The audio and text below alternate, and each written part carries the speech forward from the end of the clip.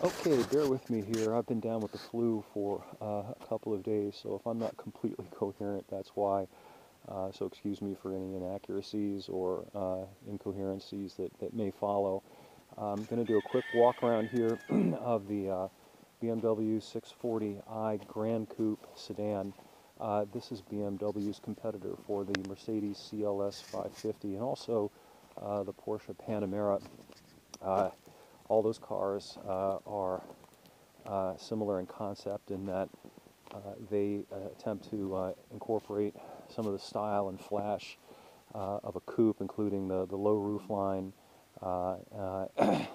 and overall sporty demeanor. Uh, with the, the practicality of a back seat and the ability to carry more passengers. Now, unlike most sedans, uh, well, you'll see this is a, a four-seat sedan, not a five-seat sedan.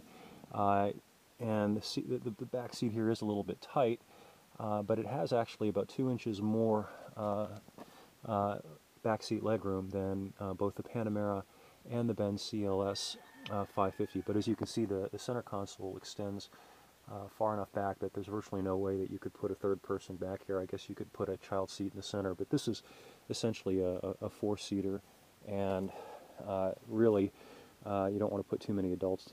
Adults probably wouldn't be too happy to be back there. Um, the overall layout is similar to the 6 Series Coupe. Uh, the engine lineup is also pretty much the same. Uh, the base engine in this car is the turbo 3-liter 6 uh, uh, at 315 horsepower with the optional turbocharged 4.4 V8 at 444 horsepower. I can't remember. I'm all addled with the flu. I cannot remember, but uh, it is actually comparable to the, the Porsche Panamera in terms of power and performance, base and optional engines. The real problem for BMW is that the Benz CLS uh, 550 comes standard uh, with uh, a twin turbo V8 and 402 horsepower and gets to 60 uh, a full second sooner than this car does. Uh, and it starts $5,500 less, which is remarkable because usually Mercedes cars are uh, the, the price leaders in any given segment. So uh, something that's changed in terms of market dynamics is that uh, Mercedes is no longer necessarily the most expensive vehicle in any, in any given segment. Um, this is a good looking car though, uh, and while it's not as practical as a 5 Series sedan um, or a 7 Series sedan, uh, it does make it viable, um, more viable than, than, being in, than having a, a two-door um, 6 Series coupe.